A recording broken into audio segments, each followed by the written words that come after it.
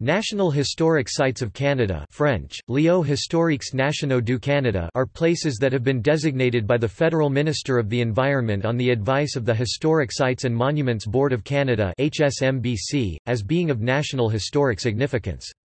Parks Canada, a federal agency, manages the National Historic Sites Program. As of October 2018, there are 987 National Historic Sites, 171 of which are administered by Parks Canada, the remainder are administered or owned by other levels of government or private entities. The sites are located across all 10 provinces and 3 territories, with two sites located in France the Beaumont Hamel Newfoundland Memorial and Canadian National Vimy Memorial. There are related federal designations for National Historic Events and National Historic Persons. Sites, events and persons are each typically marked by a federal plaque of the same style, but the markers do not indicate which designation a subject has been given. The Rideau Canal is a National Historic Site, while the Welland Canal is a National Historic Event.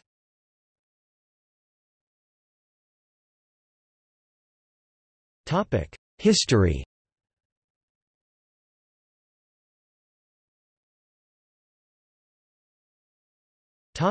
Early developments Emerging Canadian nationalist sentiment in the late 19th century and early 20th century led to an increased interest in preserving Canada's historic sites.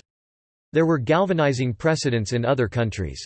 With the support of notables such as Victor Hugo and Eugene Viollet-le-Duc, the Commission des Monuments Historiques was created in France in 1837. It published its first list of designated sites, containing 934 entries, in 1840. In the United Kingdom, the National Trust for Places of Historic Interest or Natural Beauty was created in 1894 to protect that country's historic and natural heritage. While there was no National Park Service in the United States until 1916, battlefields of the Civil War were designated and managed by the War Department. Chickamauga and Chattanooga, created 1890; Antietam, 1890; Shiloh, 1894; Gettysburg, 1895; Vicksburg, 1899; and Chalmette, 1907. Domestically, Lord Dufferin, the Governor General from 1872 to 1878, initiated some of the earliest high-profile efforts to preserve Canada's historic sites. He was instrumental in stopping the demolition of the fortifications of Quebec City, and he was the first public official to call for the creation of a park on the lands next to Niagara Falls, the 1908 tricentennial of the founding of Quebec City, and the establishment that same year of the National Battlefields Commission to preserve the Plains of Abraham, acted as a catalyst for federal efforts to designate and preserve historic sites across Canada. At the same time, the federal government was looking for ways to extend the national park system to eastern Canada. The more populated east did not have the same large expanses of undeveloped crown land that had become parks in the west, so the Dominion Parks branch the predecessor to Parks Canada looked to historic features to act as focal points for new national parks. In 1914, the Parks Branch undertook a survey of historic sites in Canada, with the objective of creating new recreational areas rather than preserving historic places. Fort Howe in St. John, New Brunswick was designated a National Historic Park in 1914, named the Fort Howe National Park. The fort was not a site of significant national historic importance, but its designation provided a rationale for the acquisition of land for a park. Fort Anne in Annapolis Royal, Nova Scotia was also designated in 1917. In 1919, William James Roche, the Minister of the Interior, was concerned over the fate of old fur trade posts in Western Canada, and he was also being lobbied by historical associations across Canada for federal funds to assist with the preservation and commemoration of local landmarks. At the same time, the Department of Militia and Defense was anxious to transfer old forts, and the associated expenses, to the Parks Branch. Roche asked James B. Harkin, the first commissioner of Dominion Parks, to develop a departmental heritage policy. Harkin believed that the Parks branch did not have the necessary expertise to manage historic resources. He was troubled by the relatively weak historic value of Fort Howe, the country's first historic park, and feared that the branch's park improvements were incompatible with the heritage attributes of Fort Anne, the second historic park.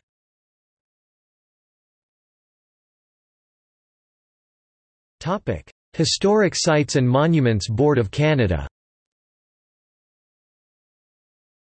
On Harkin's recommendation, the government created the Advisory Board for Historic Site Preservation later called the Historic Sites and Monuments Board of Canada in 1919 in order to advise the minister on a new program of national historic sites.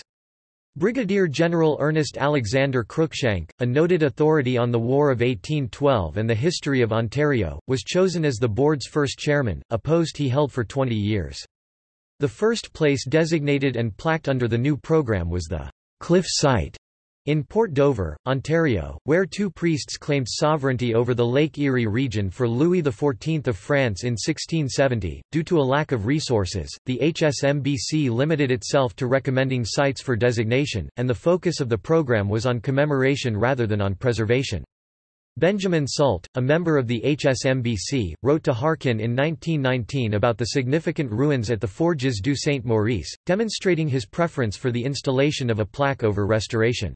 All that can be done in our days is to clear away the heap of stones, in order to reach the foundation walls and plant a sign in the center of the square thus uncovered.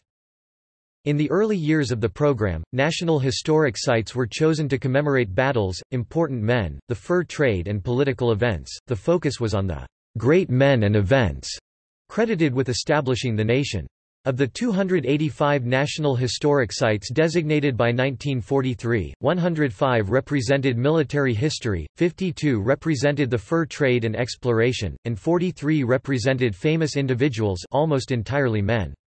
There was also a strong bias in favour of commemorating sites in Ontario over other parts of the country. At one point, some members of the HSMBC concluded that there were no sites at all in Prince Edward Island worthy of designation. The then prominence of sites in Ontario related to the War of 1812 and the United Empire Loyalists has been attributed to the influence of Cruikshank, resulting in a veritable palisade of historical markers along the St. Lawrence and in Niagara, promoting a loyalist doctrine of imperial unity with Britain, while commemorating resistance to Americanism.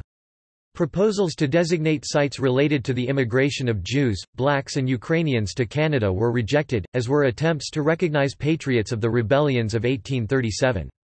Such was the view of Canadian history by the board in the first half of the 20th century.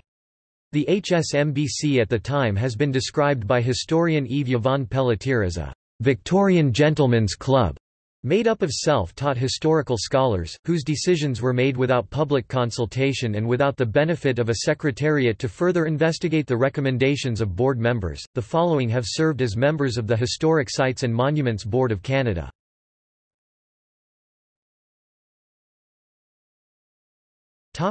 Evolution of the program. As time passed and the system grew, the scope of the program and the nature of the designations evolved. By the 1930s, the focus of the heritage movement in Canada had shifted from commemoration to preservation and development. The change was most marked in Ontario, where the Niagara Parks Commission was restoring Fort George and the Department of Highways was restoring Fort Henry. It took the Great Depression to create opportunities for significant heritage preservation projects at the federal level. Although the HSMBC took little interest in these efforts, limiting itself to a commemorative role, the Parks branch made wide use of government relief funds to hire workers to assist with the restoration of old forts. In 1943, the interim chairman of the HSMBC, Frederick William Howay, urged his fellow board members to consider a broader range of designations, and to correct the geographic and thematic imbalance in the designations. In particular, Howay encouraged the HSMBC to pay more attention to economic, social and cultural history, and he urged a moratorium on additional designations related to the War of 1812.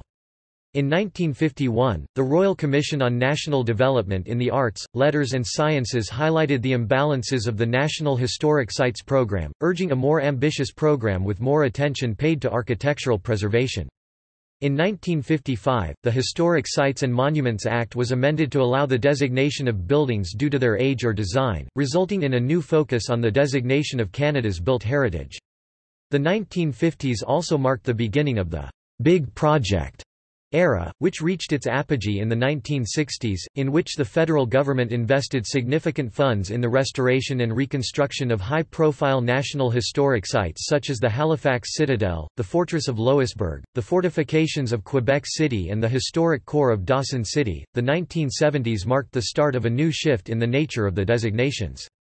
Of the 473 National Historic Sites designated between 1971 and 1993, the formerly dominant category of political military events represented only 12% of the new designations, with the Battle of type commemorations being overtaken by sites associated with federal politics.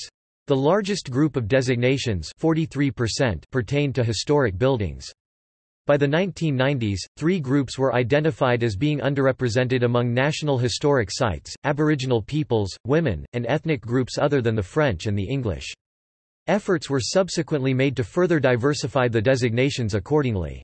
Sauyu Edacho in the Northwest Territories was designated in 1997, becoming the first National Historic Site both designated and acquired on the basis of consultation with Aboriginal peoples, and the largest National Historic Site in land area approximately the size of Prince Edward Island. It was at this time that the use of the term, "'National Historic Park' then still used for the class of larger National Historic Sites operated by Parks Canada and deemed to be of extraordinary value to Canadian history was phased out. Changes were not limited to new designations, as the interpretation of many existing national historic sites did not remain static and evolved over time. For example, the commemoration of national historic sites on the prairies related to the Red River Rebellion and the Northwest Rebellion has gone through at least three phases to date. In the 1920s, plaques erected at these sites trumpeted the expansion of Canada and Western civilization across North America. Due to local pressures, changes at the HSMBC and evolving historiography, texts introduced in the 1950s avoided the previous triumphalist version of events, but also avoided any analysis of the causes or consequences of the events. Commencing in the 1970s, a changing approach to heritage conservation at Parks Canada, coupled with growing regionalism and a more assertive Aboriginal rights movement, led to the next generation of interpretive documents, one that included a focus on the societies which Canada's 19th-century expansion had displaced.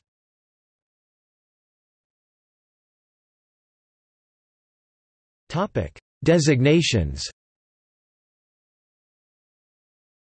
National Historic Sites are organized according to five broad themes, peopling the land, governing Canada, developing economies, building social and community life, and expressing intellectual and cultural life. To be commemorated, a site must meet at least one of the following criteria. Illustrate an exceptional creative achievement in concept and design, technology or planning, or a significant stage in the development of Canada, illustrate or symbolize, in whole or in part, a cultural tradition, a way of life or ideas important to the development of Canada. Be explicitly and meaningfully associated or identified with persons who are deemed to be of national historic significance, or be explicitly and meaningfully associated or identified with events that are deemed to be of national historic significance. Designation as a National Historic Site provides no legal protection for the historic elements of a site. However, historic sites may be designated at more than one level national, provincial and municipal, and designations at other levels may carry with them some legal protections. Most national historic sites are marked by a federal plaque bearing Canada's coat of arms. In earlier years, these plaques were erected on purpose-built cairns, and in later years have been attached to buildings or freestanding posts. These maroon and gold markers are typically in English and French, though some are trilingual where another language is relevant to the subject being commemorated.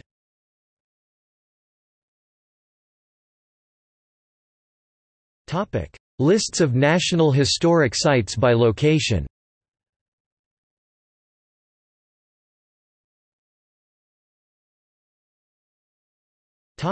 See also Canadian Register of Historic Places. List of Hudson's Bay Company trading posts. National Symbols of Canada. Royal Monuments in Canada. Seven Wonders of Canada